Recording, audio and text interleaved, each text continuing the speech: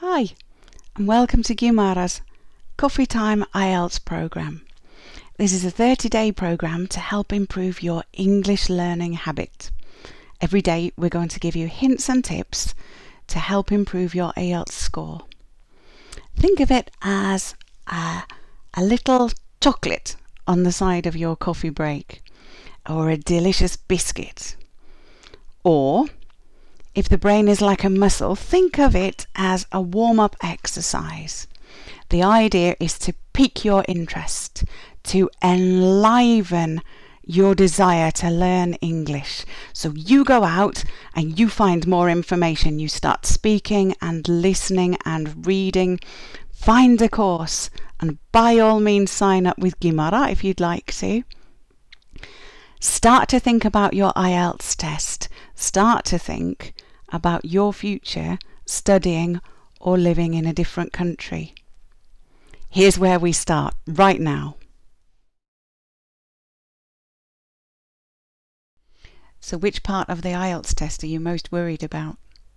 Most people will say the speaking part because it's live, it's face to face, and it feels a bit stressful.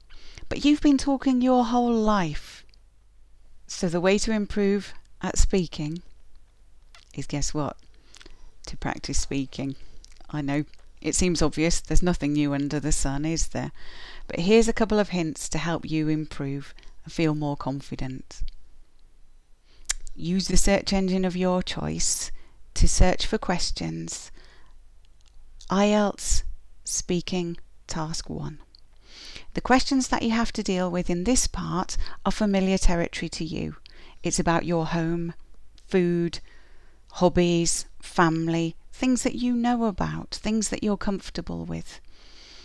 If you don't have a native speaker to practice with, get a course buddy, find a neighbour, grab a friend, family member, mum.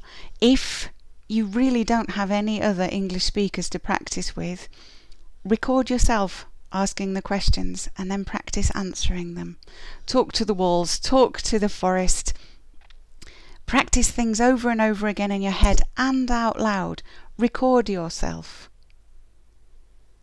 It all helps to get your confidence. So straighten your spine, pull your shoulders back, look your partner in the eye, have a smile on your face, and start practicing. Tomorrow we'll talk about speaking task part two. Bye bye.